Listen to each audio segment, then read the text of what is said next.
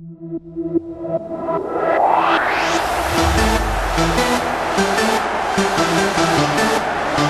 er saken borte mot BIF.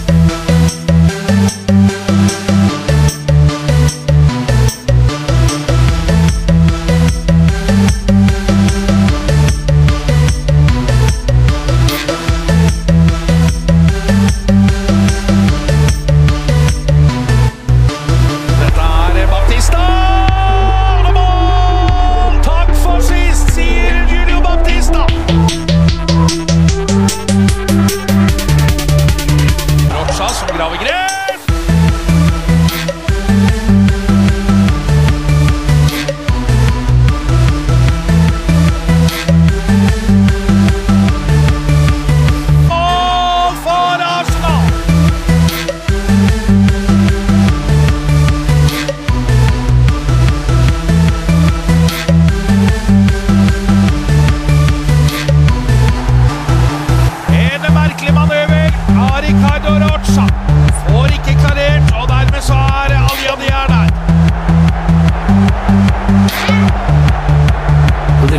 I dag også?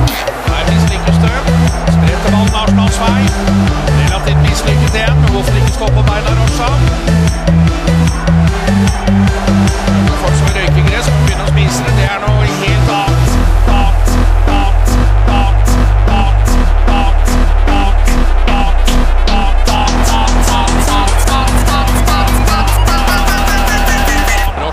graver grep.